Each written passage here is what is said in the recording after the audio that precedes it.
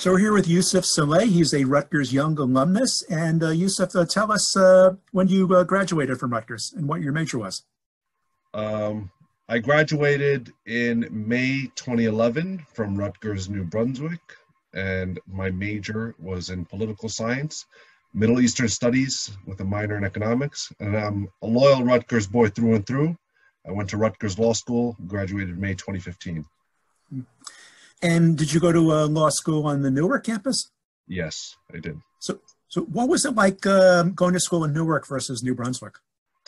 Well, um, the difference was, I guess, in grad school, it's uh, very competitive and you have to be really, really focused. And um, the first year of law school is always the toughest. So you have to really focus on your schoolwork versus when I was at the Rutgers New Brunswick campus, I was able to explore so many different organizations, so many different uh, experiences there. So that's, you know, that Rutgers New Brunswick lends itself to that.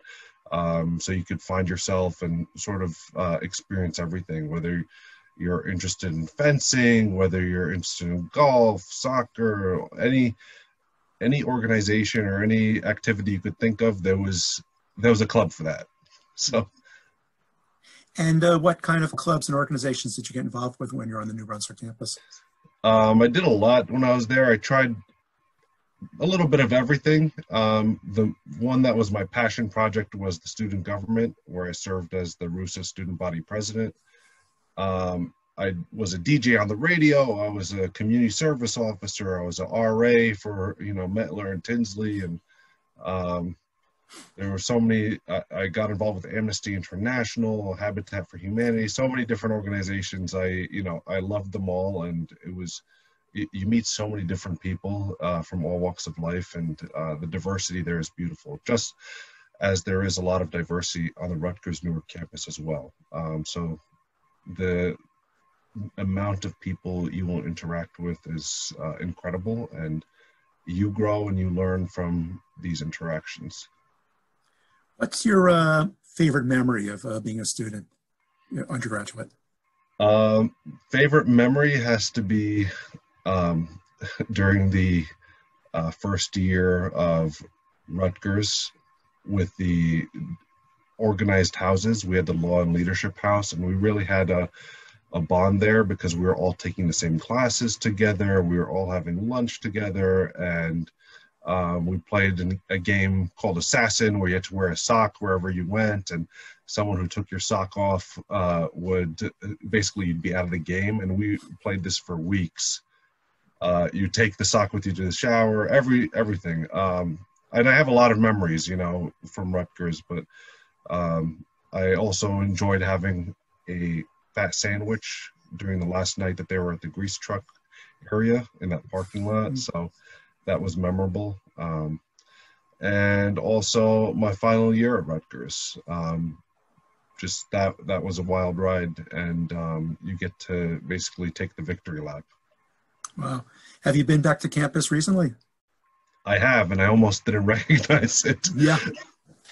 And it's amazing because you you wouldn't expect that to happen. You know, I feel like I'm not that old, but it's just like it's changed so much, but there's still, um, you know, Willie the Silent uh, around um, College Avenue, so that's good to see. And um, the bus stops have been upgraded, thankfully. Um, I fought for a lot of changes to that, and um, yeah, it's just uh, it's beautiful. Um, and I hope that Rutgers keeps it its traditions going uh, long after we're gone, even with all this beautification that we maintain uh, our tradition and our history. So you went to undergraduate New Brunswick, graduate school for law in uh, Newark, and uh, what are you doing now? Currently, I work at JP Morgan. Um, I am an associate in anti-money laundering and compliance Additionally, I am the councilman for Ward D in the Heights of Jersey City, New Jersey. this is uh, the area where I was born and raised, in my hometown, um, and it is uh, my first home, and Rutgers is my second. Talk about Jersey City uh, as a kid and now. Um, I've been up there. I have friends uh, who lived up there. And my wife um, is from uh, that area. Um, and seeing Jersey City in the 1970s versus now, it's got to be uh, really um, head spinning. Absolutely. And um, there's been so many different changes. Um, the the neighborhood neighborhood has gotten better, but we still have issues that we need to deal with. You know, when it comes to affordable housing, quality of life issues. There's so much um, that we have to take care of, and I feel like you know this is the time right now, even though it's not the most convenient time for me to be an, an official of uh, city government, you know, with the pandemic and with the global, you know, economic recession um, and the civil unrest. Like there, there are, I would say Rutgers has trained me very well to deal with this.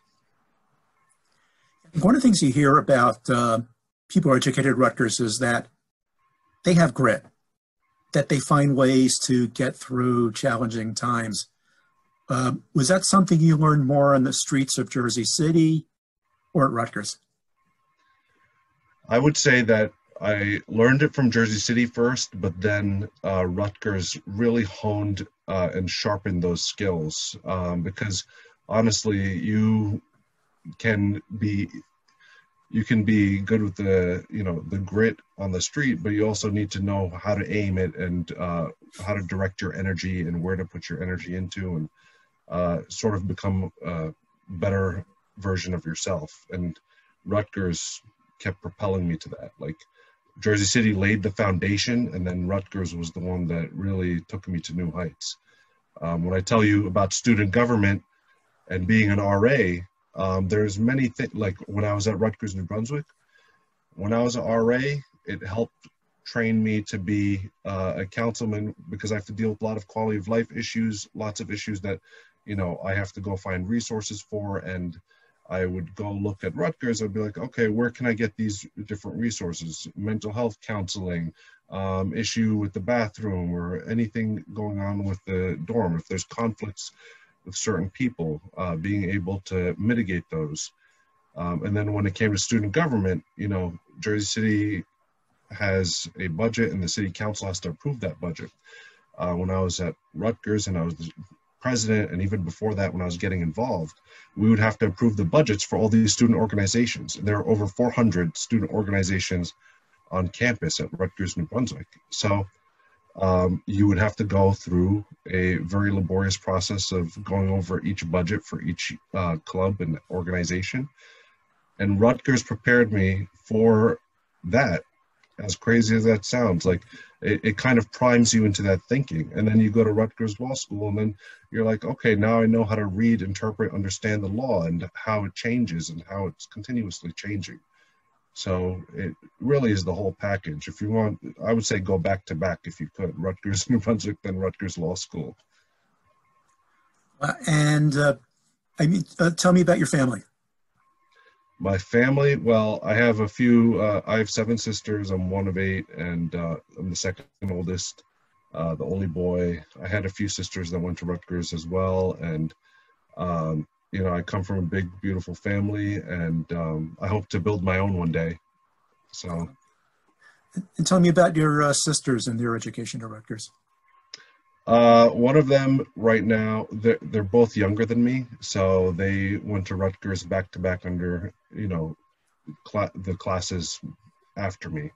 So um, one of them's a teacher, and the other one works as a data scientist now. So uh, Rutgers really helped their careers. And then are um, you and your family the first generation of uh, Rutgers in your family? Absolutely. Um, so you know we are first generation. Uh, um, my my parents are immigrants, so um, really it is a beautiful thing to have this opportunity to go to Rutgers and just get an education. And why Rutgers versus another school?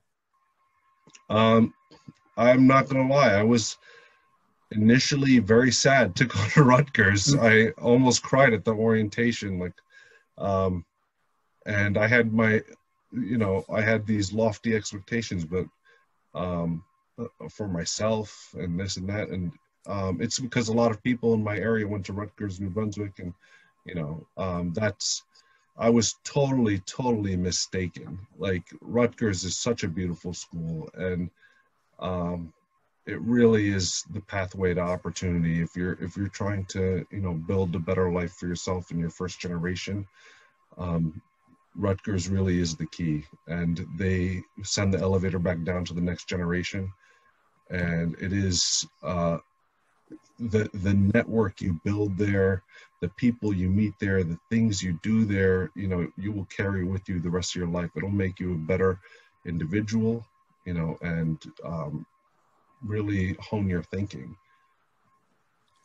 And as an alumnus, what um, things are you doing right now? Or how are you involved as an alumnus?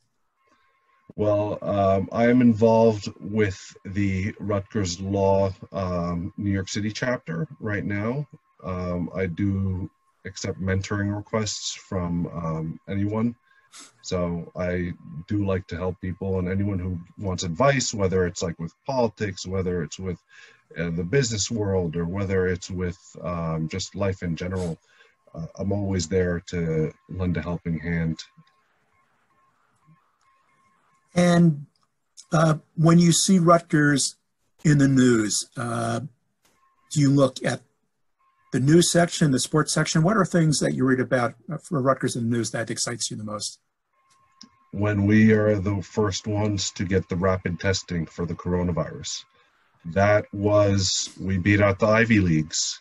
And that kind, that shows you the kind of institution that Rutgers is. We are a heavyweight when it comes to research, and we are a heavyweight when it comes to helping, you know, groom the next generation of leaders, thinkers, uh, scientists, and that is it, it is affordable. It is you know um, as good of an education as you could get anywhere at any Ivy at any school across the U.S. And I believe it's better because we are that state school because we have that grit because you know we don't take anything for granted when we go to Rutgers.